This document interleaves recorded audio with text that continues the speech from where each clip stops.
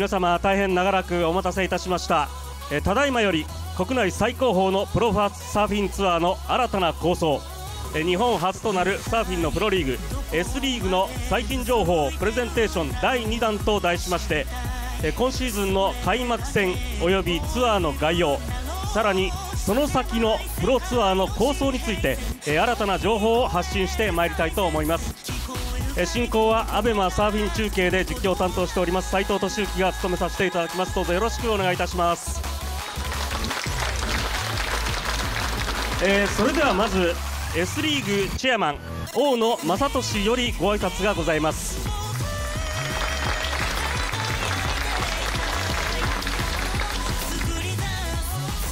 えーご紹介いただきました大野正俊です。今年2024年から、えーチェアマンとして、えー精力的に動いていきたいと思います。今日はですね、えー今まで S リーグの全貌がまだ明らかにされてないと思うんですけれども今日ここで全部ではないんですけれども、えー来年2025年6年の、えー計画またそれから将来の展望をお話しできたらと思っております。よろしくお願いします。ありがとうございました、えー大野チェアマンにはいろいろと伺っていきたいところではあるんですけれども、えー S リーグ最新情報プレゼンテーション第1弾にて、えーチェアマン就任の抱負をたっぷりと伺っておりますので、えーそちらの方ですね S リーグ公式 YouTube チャンネルにて、えー動画を視聴していただければと思います、えーそれでは S リーグ最新情報プレゼンテーション第2弾を始めさせていただきたいと思います、えーまず最初に2024年開幕となる S リーグ。その記念すべきシーズンの正式名称を発表いたします、えー皆さんお近くのモニターにご注目ください。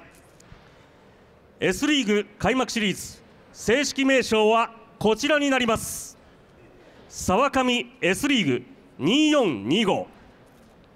近年 JPSA ジャパンプロサーフィンツアーを支えてくださっております。さわかみグループ様が引き続きツアースポンサーとして S リーグをバックアップ、えそして大野チェアマン、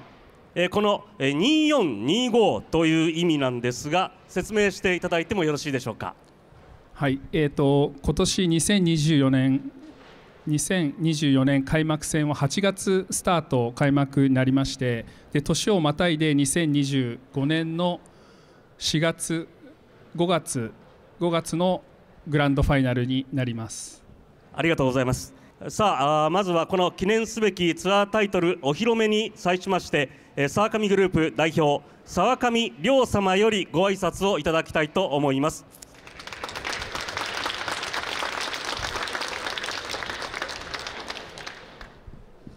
えー皆さんこんにちは。沢上グループ沢上です。えーとですねまあこの夏に S リーグ開幕といよいよというわけなんですけれども私たち沢上グループとしては次のようなことを大きく期待しております。まずはこの S リーグを通じて縦サーフィンのこの競技のレベルをもっともっと全体的に上げていく縦の動きっていうものでこれはすなわちその先にあるのは世界だと思うんですよ。この世界への道筋というものを S リーグをしっかりとこの土台を固めることによって縦縦上へ上へ伸びるようなものを期待してます。で次に横ですね。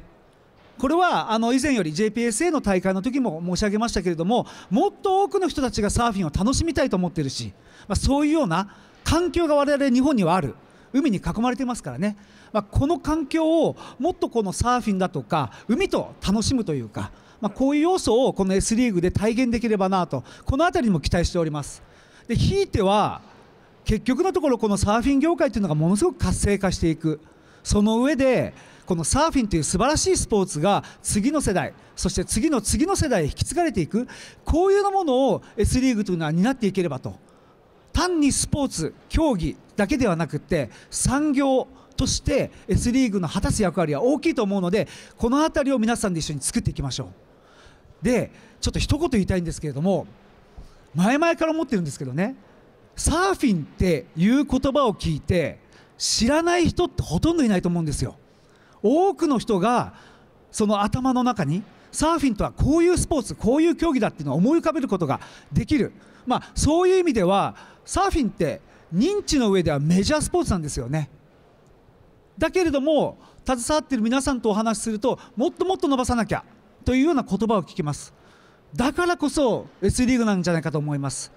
私たち、まああの S リーグに関わる皆さんまたはそのメディアの皆さんもそうですけれども S リーグというものをもっと大きく構え広げ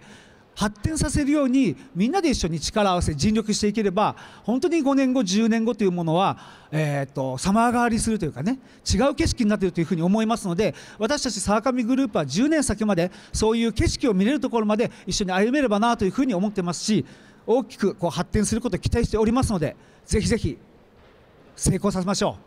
う。よろしくお願いします。ありがとうございます。沢上亮様ありがとうございます。沢上グループそして大野チェアマンを筆頭とします S リーグが力を合わせこの記念すべき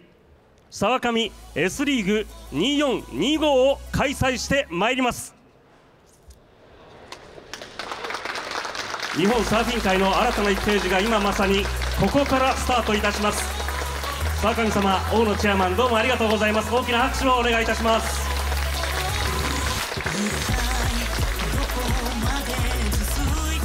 ありがとうございました。さあ期待が高まる S リーグでございますけれども、えー、先ほどから流れている曲、えー、前回の最新情報プレゼンテーションで情報解禁しました始まるイオンが手掛けます S リーグ公式テーマソングでございます、えー、楽曲のタイトルは「メイク」です。え壮大で力強くサーフィンらしい颯爽とした仕上がりとなっております。えこの曲はまさにこれから夢をつかむ、えメイクするという新たなサーフィンリーグのイメージと合致する S リーグの公式テーマソングとなりました。始まるイオンのメイクは開幕に合わせてリリース予定となっております。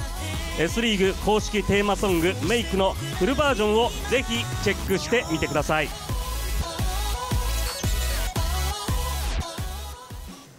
さあ続きまして、えー、気になる開幕シリーズのツアー内容の発表に移っていきたいと思います、えー、こちらのプレゼンターは S リーグサブチェアマンツアーマネージャーの田中樹です。どうぞよろしくお願いいたします。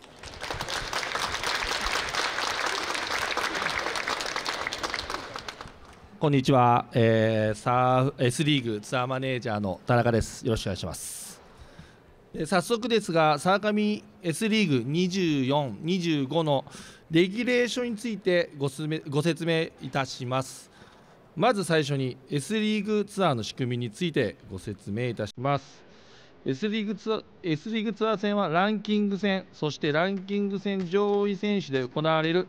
S リーググランドファイナルによってリーグチャンピオンを決定していきます、えー、本来だと全部ツアー戦で決めてたんですけど最後にグランドファイナルを行ってその最終戦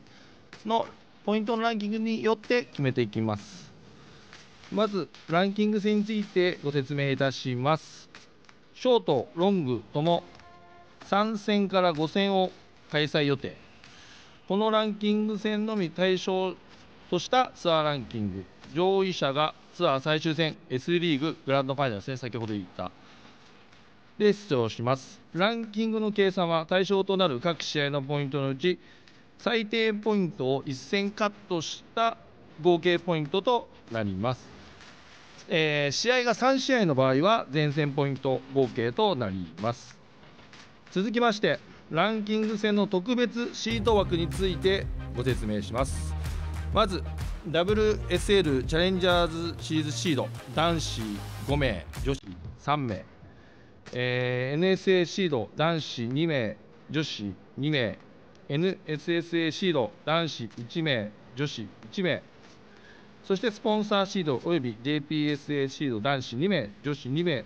以上がランキング戦における特別シード枠となります、えー、続きましてツアー最終戦 S リーググランドファイナルの説明をさせていただきます。出場条件はランキング戦終了時点ですね、えー、ショートボード男子36位以内女子18位以内そしてロングボード男子24位以内女子12位以内で S リーググランドファイナルに出場することができます。そして続きまして S リーグマスターズツアーについて説明させていただきます。え JPSA シニアツアー、えー昨年度までだったシニアツアーが、24年から S リーグマスターズツアーに名称を変更して開催していきます。試合数は3戦を今のところ予定しています。そのうち1戦をトライアル共催予定と考えております。出場選手あ出場対象年齢ですね。ツアー開始の年45歳以上となる選手が対象となります。出場選手の権利ですね。JPSA ショートボード男子プロ JPSA マスターズプロ。そしてトトライアル共催の場合マスターズトライアル出場者になります。また S リーグマスターツアーではランキングによる最終戦の出場制限はありません。ということはマスターズ戦はあのグランドファイナルがないということです。続いて S リーグタイトル及び各種得点に関してです、えランキング戦及び S リーググランドファイナルのすべての結果によるツアー最終ランキングで S リーグチャンピオン。そして S リーグルーキー・オブ・ザ・イヤーを決定していきます。また沢上 S リーグ24、25ツアーの上位者は特別戦アジアチャレンジ日本代表。さらに日本代表強化指定選手の対象にもなります。続いて S リーグ特別戦についてですね、えー昨年度まで、えーやってたマスタープロというのがレジェンドプロインビテーションという名称になります。こちらはまだ開催を検討中であります。そしてアジアチャレンジは2024、25ツアーの25ツアー終了後一戦を開催予定としてます。そしてチームチャレンジ24、25ツアーシーズンに一戦開催予定と考えております。最後に、えートライアルに関してご説明いたします、えー S リーグ開幕戦にトライアル2戦を開催いたします。第1戦は4月24日から25日。会場は千葉県大網白里市白里海岸で行います。そして2戦目5月29日から30日。会場は千葉県旭市井戸の浜海岸、えー旧観光というサーフポイントですね。で行う予定です。第1戦第2戦ともショートボードロングボード同時開催で行います。え出場枠出場エントリー枠についてですが先着順でショートロングともに男子96女子32名となります。エントリー開始の方は大会開あ大会開催の1ヶ月前から JPSA ウェブサイトの方で行いますので確認お願いします。そしてプロ合格条件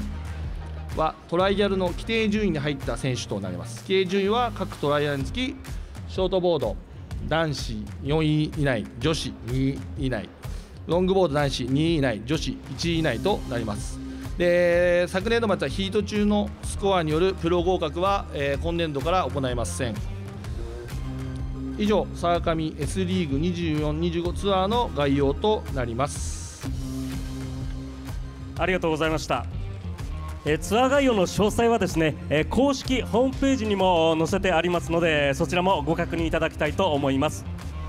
え続きまして、えー沢上 S リーグ2425の開幕戦、そして最終戦について、えー引き続き田中サブチェアマンから発表をお願いいたします。えー24相模リーグ S リーグ24、25年グランドファイナルをかけた出場をかけたあのオープニング戦開幕戦ですね。2024年8月茨城県大洗海岸にて開催いたします。対象はショートボードロングボードマスターズツアーになります。えー、沢上 S リーググランドファイナル24、25年、えー最終戦ですがあグランドファイナルですが25年4月に千葉県一宮町釣ヶ崎海岸で行う予定です。しだしたポイントですね、えーオリンピックのレガシーになりました。しだしたポイントで行う予定です。ありがとうございます、えー最終戦は2025年の4月、えー再来年の、えー来年の4月えー一宮町釣ヶ崎海岸と発表がありましたえー第2戦以降に関しては、えーショートボード、ロングボードと、えーそれぞれ3戦から5戦の予定となっております。えー調整が整い次第、えースケジュールが発表されていきますので、えー皆様今しばらくお待ちいただきたいと思います。えー田中サブチェアマありがとうございました。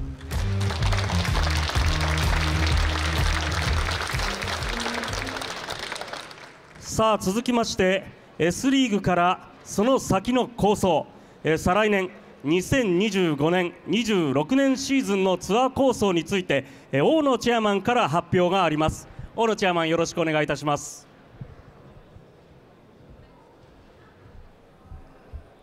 えー S リーグ2526ツアーの構想を発表いたします。S リーグ2526シーズンより国内ツアー戦は S1、S2 の2部制に移行します。S リーグ2425シーズンの最終ランキングで規定順位に入った選手は翌2526シーズンの S1 ツアー出場権を獲得します。S1 ツアー S1 ツアー出場規定順位はショートボード男子29位以内女子13位以内。ロングボード男子22位以内女子10位以内10えー女子10位以内となります。規定順位以外の選手は2526シーズンの S2 ツアー出場権を獲得することになります。なおマスターズツアーは2部、えーマスターズツアーでは2部制を導入行、えー導入しません、2425ツアー同様対象となるすべての選手が S リーグマスターズツアーに出場します。ありがとうございます、えー再来年2526シーズンは S1 そして S2 と、え2つのカテゴリーに分かれてランキング戦が行われるという発表がありました。S1、S2 それぞれのツアー戦の概要に関しては、えー現在調整中となっておりますので、えーそちらも整い次第発表をさせていただきたいと思います、えそして大野チェアマン再来年のツアーにはさらなる構想が、えあると伺っておりますけれども、えそちらの方も発表していただけますか？はい。えー S リーグ2526シーズンからえー S リーグはアジア各国と連携しアジアが世界に誇るワールドクラスの波を舞台にサーフリーグの設立を目指します。2526シーズンより特別戦アジアチャレンジをツアー化し JPSA を含むアジア各国の連盟から国内ツアー上位選手が参加する S リーグプレミアムツアーの開催を準備しています。この S リーグプレミアムツアーへの日本代表参加権は S リーグ2425ツアー最終ランキングの上位者に与えられます。えこれまで特別戦として年1回行われていましたアジアチャレンジですが S リーグプレミアムツアーとして、えーツアー化していくという、え壮大な構想が今発表されましたが、えー大野さんこの S リーグプレミアムツアーにはどのようなビジョンを描いていらっしゃいますか？えっとですねここにちょっといろいろ書いてあるんですけどもビジョンとしては日本のサーフィンがもう自分が国あのツアーを回っていた時に思ったことが全てのそのアマチュアからプロリーグそして世界の大会までが一つにつながってたらいいなという思いがありましてそこの一つにアジアリーグがあってアジアは世界でいい波がありますんでそこで選手も一つそこの目標としてアジアのチャンピオンになるということは一つすごい目標になる世界の手前で目標になることだと思いますんでそういうあの思いでアジアツアーをやりたいということをあの JPSA の理事長に、ね、あの熱く語りました。はい大野ちゃんもありがとうございました、えー今年そして再来年と S リーグが目指すその先には、えー日本そしてアジアでサーフィンというスポーツが、えー今以上に親しまれている姿を、え想像してやみません、えーぜひ今日お越しの皆様、えそしてこのプレゼンテーションをの第2弾をご覧いただいている皆様 S リーグとともに、サーフィン業界を盛り上げていきたいと思います。大本チェアマンどうもありがとうございました。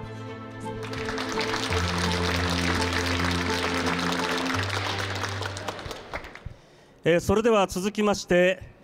JPBA 日本プロボディーボード連盟前山剛理事長より新たな取り組みの発表がございます、えー、前山理事長よろしくお願いいたします。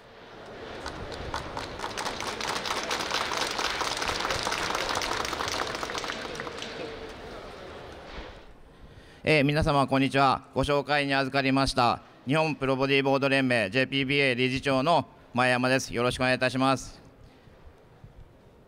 今回ですねこの場をお借りして JPBA から発表させていただきます。2025年の、えー、に4月に開催される4月5月予定で開催される S リーグのチャンピオンを決める S リーググランドファイナルに JPBA としてボディーボードクラスを参加させていただくこととなりました。そしてその出場枠は、えー、JPBA 選出のウィメンズ8名メンズ8名計16名の選手で争われます。その出場枠をかけて今年の6月からランキングを決めるツアー戦の方を3戦から4戦行っていく予定となっております。今日の発表により S リーグという新しいステージに向けて選手の方も練習必死に練習してさらにレベルアップの方もしてくると思います。そしてサーフィンボディーボード業界がさらに発展盛り上がるように期待をしております。皆様どうぞよろしくお願いいたします。ありがとうございました。ありがとうございます。ますます期待が高まる S リーググランドファイナルズ。えー、JPBA 日本プロボディーボード連盟、えー、前山理事長どうもありがとうございました、えー、続きまして今シーズン開幕します S リーグのグランドファイナルズのゼッケンジャージをお披露目させていただきたいと思います、えー、それではこの方々にご登壇いただきましょう。よろしくお願いいたします。皆様大きな拍手でお迎えください。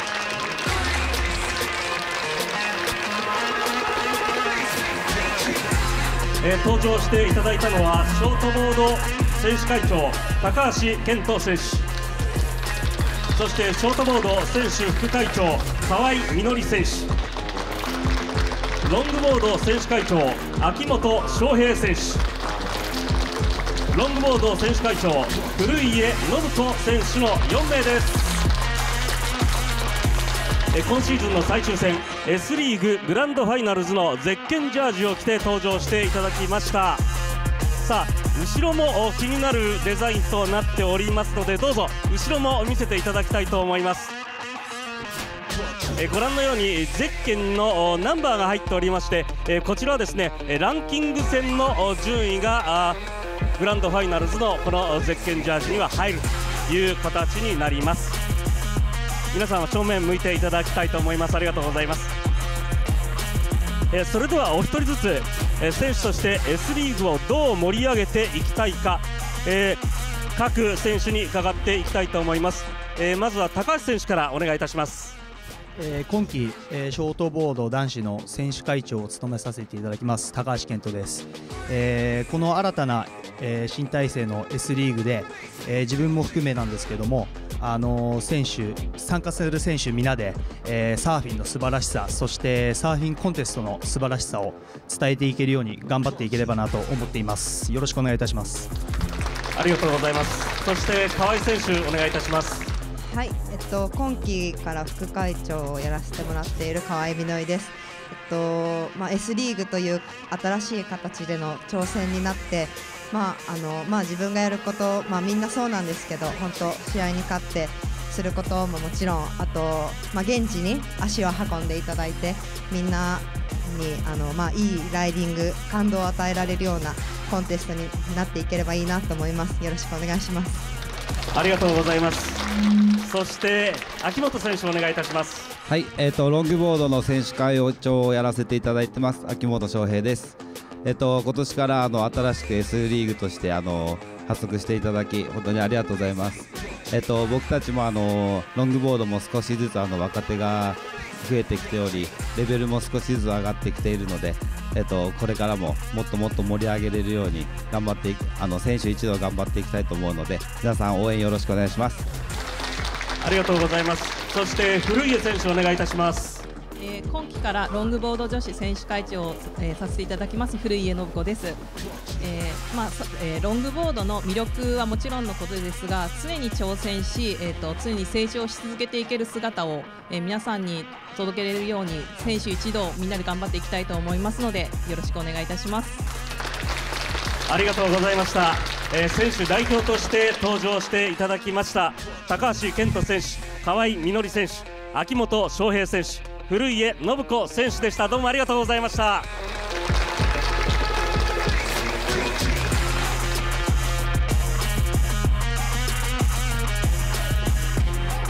さてこの最新情報プレゼンテーションもエンディングが近くなってまいりましたが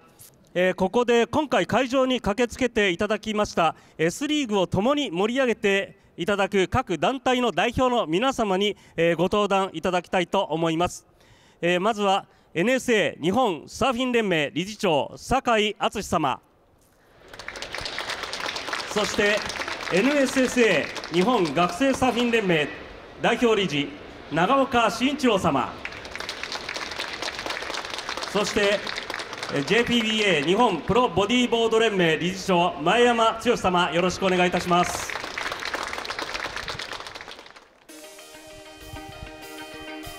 それではお一人ずつご挨拶と S リーグ開幕に向けまして、えーもうご自由に語っていただきたいと思います、えーそれでは前山理事長からお願いいたします。はい。改めまして JPBA 日本プロボディーボード連盟理事長の前山です。よろしくお願いいたします。JPBA の所属選手としては近年あのワールドクラスワールドチャンピオンに3名の選あ2名の選手がなっており昨年度も大原沙里選手2018年には鈴木彩香選手が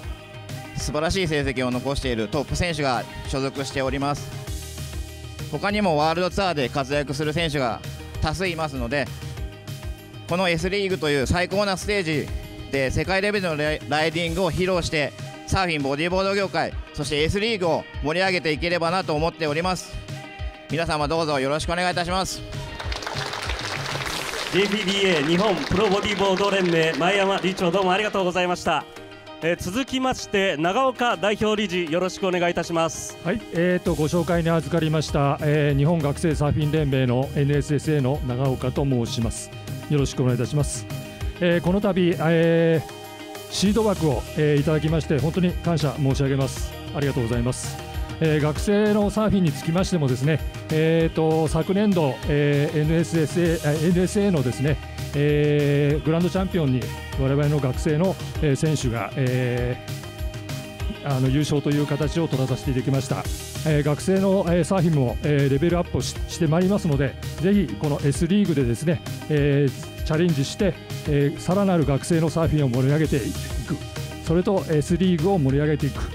えーそのために頑張っていきたいと思いますよろしくお願いいたします NSSA 日本学生サーフィン連盟長岡代表理事どうもありがとうございましたそれでは最後に酒井理事長よろしくお願いいたしますはい、えー日本サーフィン連盟の、えー酒井です。よろしくお願いいたします。えー本日、えー S リーグの立ち上げに、えー立ち上げたこと、あのまず、えー感動しております。あのこれから、えー今日がスタートということで、えーこれからの、えー新しい取り組みに、えーワクワクしておりますので、あの私どもあの日本サーフィン連盟でもあの強化の方でだいぶ、えー JPSA さんと、えー一緒になって、えーここ1年あの強化につく、えー力を入れてきております。あのオリンピックもありまして、えーぜひメダルを取ってほしいのも、えー山々なんですが、えーやはりですねあのやはり底辺を広げていくあのもっと一般の人たちがどんどん知ってもらう、えっと、先ほど、えー沢上の社長さんからもあの日本は海に囲まれてるって本当私もそう思うんですよね。やはりあのこんなにサーフィンに適した国ってあんまりないと思うんですよ。日本海でもサーフィンできるし沖縄でも、え北海道でもサーフィンできるこんなに環境のいいところで、えーもっともっとサーフィンがメジャーになっていただきたいで私たちその活動をやはりみんなで一緒にあの続けていかなきゃいけないしあのもっともっと広めていく努力をこれから一緒にやりましょう。はい、今日はどうもありがとうございます。NSA 日本サーフィン連盟酒井理事長どうもありがとうございました、えーそれでは酒井様長岡様あ前山様にはこのまま残っていただきまして、えー大野チェアマンそして田中サブチェアマンさらには橋本蓮様木下デイビッド様どうぞ壇上にお上がりください。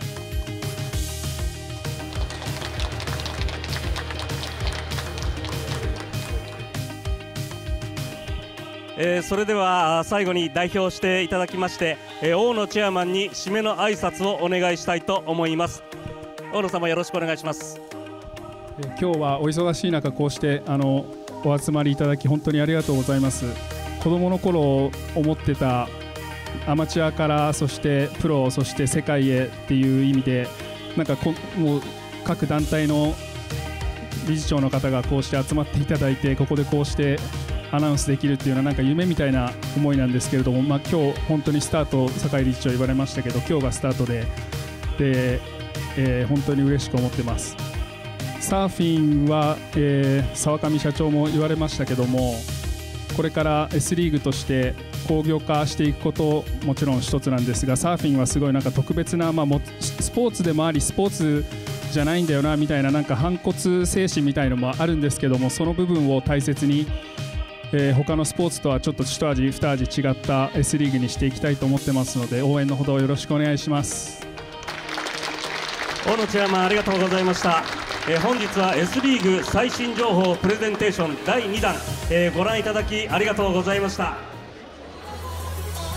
えー先ほどの発表がありましたように S リーグ開幕戦は8月茨城県大洗海岸からスタート、え最終戦は2025年の4月、え千葉県一宮町釣ヶ崎海岸です。開催日時など詳細は決まり次第、え SNS などで発信してまいりますので、え今しばらくお待ちいただきたいと思います、え本日は、えこれにて終了とさせていただきたいと思います、えご視聴皆様どうもありがとうございました。そしてお集まりいただきました。皆様ありがとうございました。それではまたお会いしましょう。さようなら。